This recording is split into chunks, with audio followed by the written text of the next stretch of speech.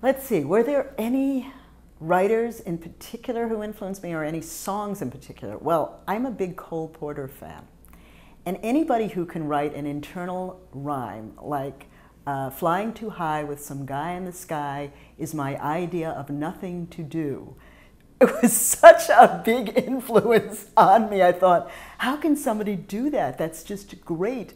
All those rhymes and they work. So that was definitely something that stuck in my head when I was little, I, I sang a lot of songs. I, am not sure I sung the ones with the best lyrics, but they definitely, you know, you get that rhythm and that sense of rhyme in your body. So one of the songs that I always sang was "Give Me a Little Kiss, Will Ya, Huh?" And that was that was that was my party song. I was put on, you know, display, and I would get to sing this song, and that sort of stuck in my head. That was one of the things that I sang. And also, I sang once I had a secret love from Calamity Jane. Do not ask me why, because I'm sure at the age of five, I did not really know what this song meant. But I think the, the emotion of it I, I could get. So those were influential.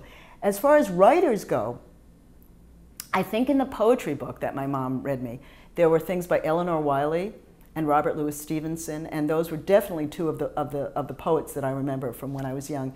And then I read a lot of books. Someone asked me, I, I got a fan letter recently, and the fan asked, what, what was your favorite book as a child? And it's, it's sort of hard to remember because I, I read a lot of things, but I loved The All of a Kind Family by Sydney Taylor. Yeah, I, and I read that over and over, and that was a favorite. And um, I loved Alice in Wonderland. I had a teacher in seventh grade who loved Lewis Carroll.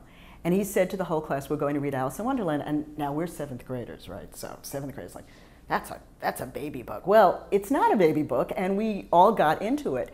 The same teacher, though, also said, we're going to read Shakespeare. I have to say, Shakespeare is my absolute favorite writer. It may be corny, but he's my absolute favorite writer.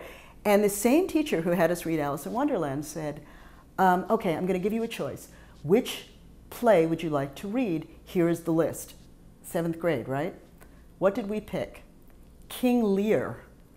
I mean, that is bizarre, but we picked King Lear, and I think we actually understood a lot of it. It was really strange. But I remember I got to play the most disgusting scene in all of King Lear because I got to be the person who put out Gloucester's eyes in King Lear. so I, I, I, have to say, Shakespeare may have influenced me, but I do not write horror and I don't like horror, so that scene did not particularly influence me. But um, those were some of the influences uh, on my writing. I, Midsummer Night's Dream definitely influenced me. I wrote one novel that uh, called The Course of True Love Never Did Run Smooth, which is a line from the play. And it's based on it, these high school kids putting on a production, and of course their lives start paralleling some of the things that happen in the play. So I would say that Shakespeare is definitely influenced me and crept into a lot of my writing as well.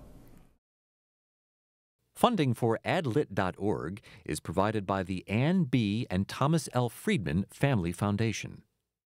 For more information on adolescent literacy, please visit us online at www.adlit.org.